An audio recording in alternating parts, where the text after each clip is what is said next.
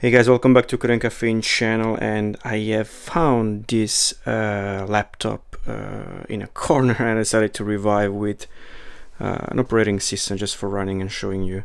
This is a Toshiba model Tecra A, uh, A10, 16, something like this.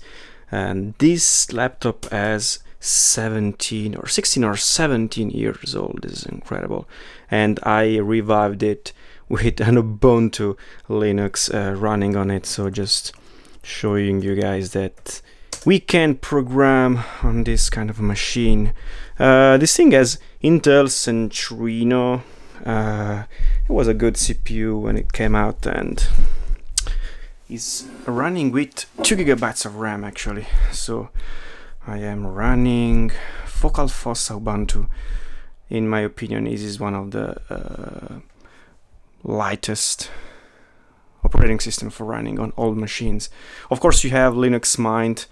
It's uh, also extremely light, uh, but I was able to run this on with Ubuntu Linux. So just open a terminal and I want to show you that I'm also running Docker on it actually.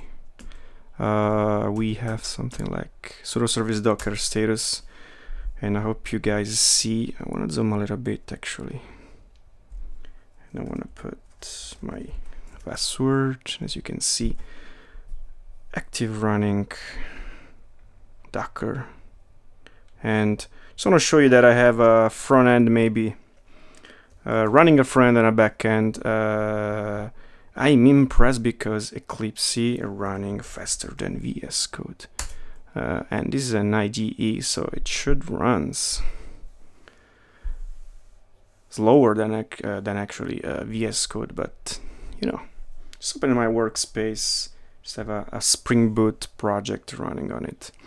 Just try to to do a clean build and running uh, the uh, Spring Boot application for showing you that. Of course it's low you know but um, yeah. Uh, given the fact that it, it has Intel Centrino and 2 gigabytes of RAM, really, really slow.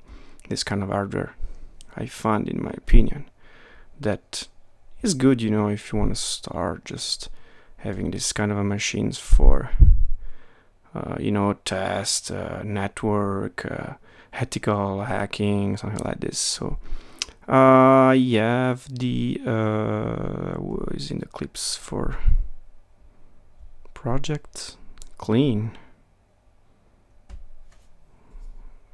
Clean everything and then build and as you can see should start the process.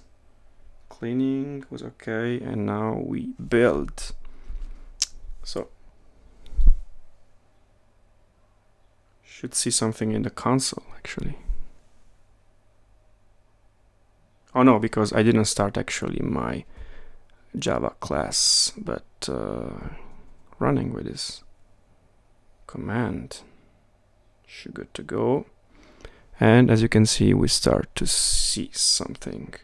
All right, so this is a classic Spring Boot application running. Okay, uh, where is my terminal? So uh, I want to go in CD. I think I have a Git repo folder here. This is where we have Spring Security folder running. So uh, I want to type ng new 11 test for running uh, maybe I should zoom a little bit so since I'm not recording the screen Okay, so the Angular CLI, it's running a bit slow, but we have patience today, so we wait for this. Okay, no strict mode, routing, yeah, SCSS. Maybe if it takes too long, uh, we'll cut the video and I come back when it's ready. Maybe trying to open this one in VS Code.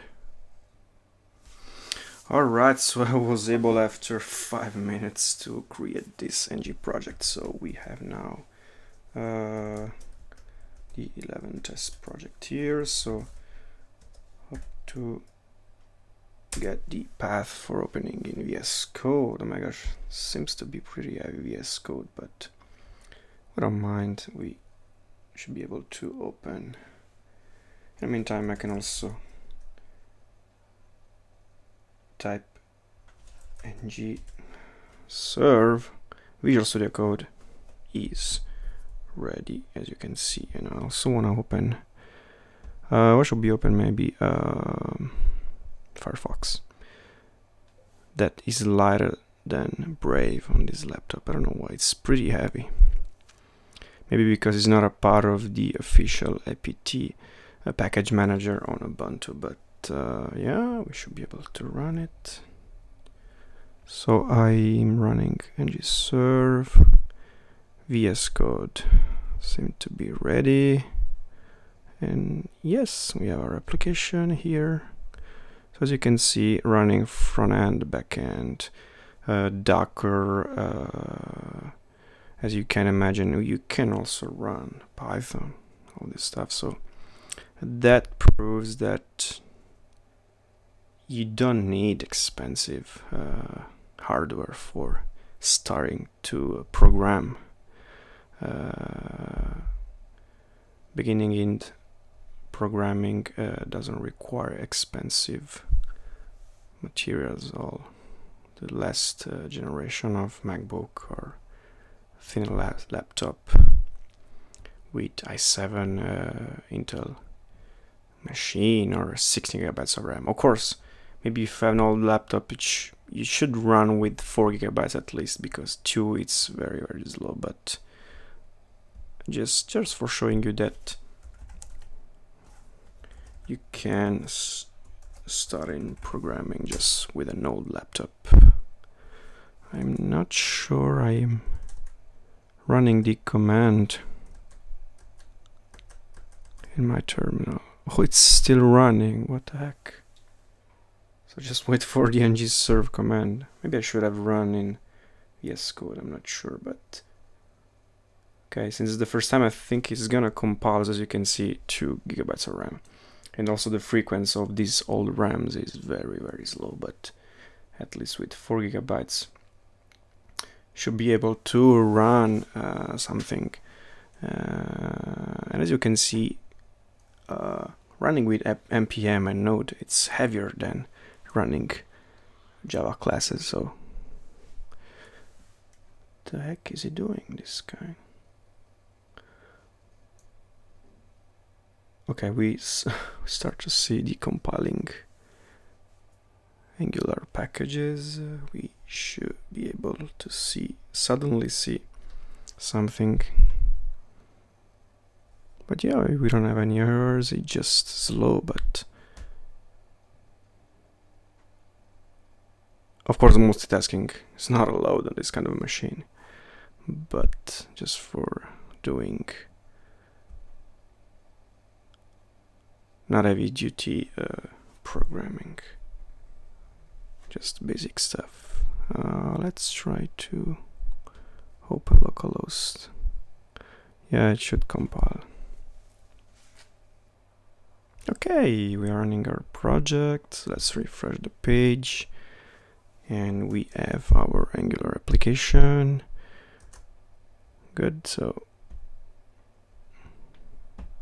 Fantastic. So we are coding on a 17 years old laptop. It was a very solid. I'm impressed. Also, the fan doesn't make a lot of noise compared to uh, newest laptop. So uh, we can program in on old machine So thank you guys for watching, and I'll see you in the next video.